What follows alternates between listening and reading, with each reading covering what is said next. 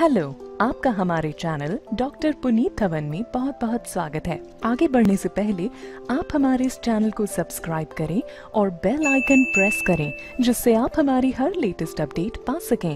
नमस्कार, मैं वर्णिका गुप्ता आपका स्वागत करती हूँ कर्मा आयुर्वेदा के YouTube चैनल पर, जहाँ आप किडनी से रिलेटेड सारी वीडियोस इजीली पा सकते हैं।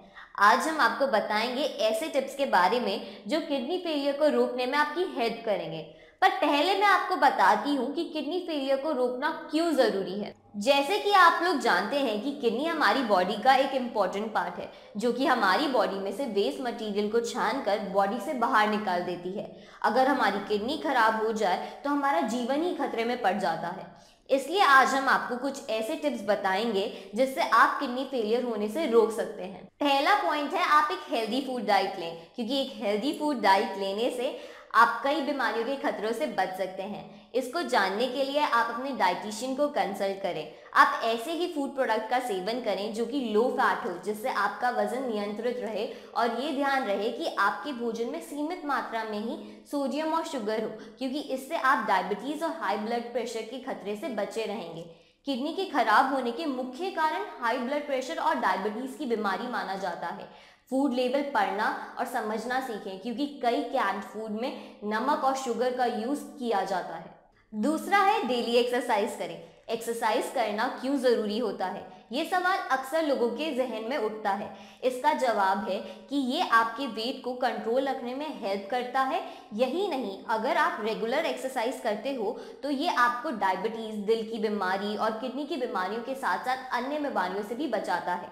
साथ ही ये आपके ब्लड प्रेशर और कोलेस्ट्रॉल को भी नियंत्रित रखता है। इसलिए अगर आप एक्सरसाइज नहीं करते हैं तो जल्द ही एक्सरसाइज शुरू कर दें। कई लोगों को यही उलझन रहती है कि वो काफ़ी बिज़ी रहते हैं, जिसकी वजह से वो एक्सरसाइज नहीं कर पाते।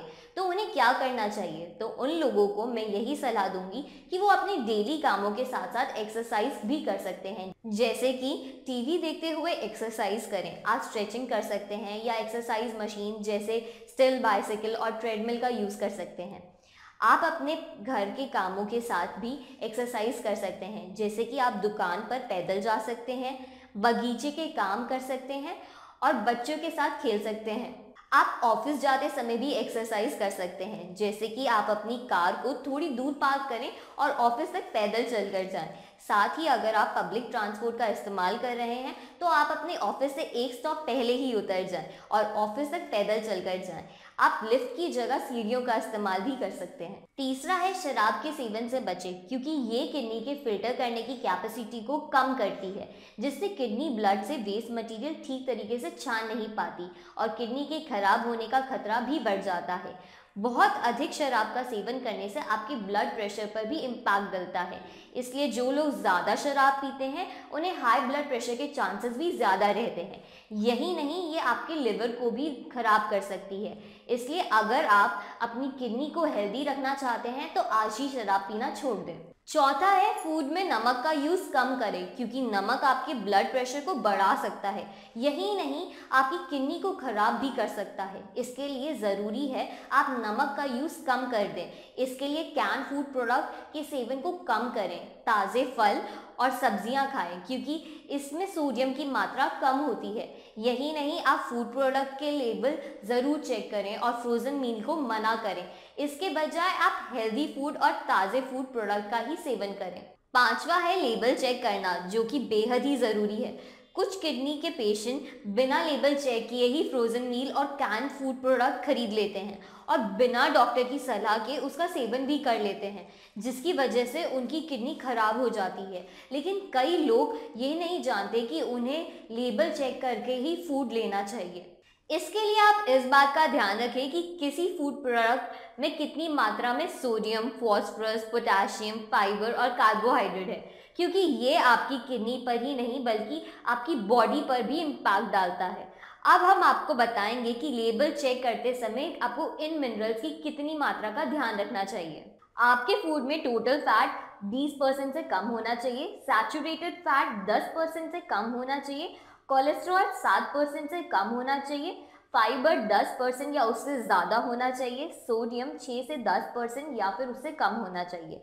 पोटाशियम अगर है तो 6 परसेंट से कम होना चाहिए। ऐसे ही अगर फॉस्फोरस है तो वो 5 से 15 परसेंट के बीच में ही होना चाहिए। अब आखिरी है कि स्मोकिंग करना छोड़ दें, क्योंकि ये आपके ब्लड प्रेशर को बढ़ा सकती है। और अगर आप किडनी पेशेंट हैं तो ये आपकी किडनी की बीमारी को और भी बिगाड़ सकती है।